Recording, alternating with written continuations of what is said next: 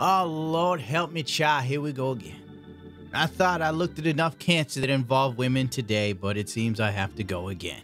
That's why we play in the church music, children, because thoughts don't move in righteousness. Thoughts move with evil and greed.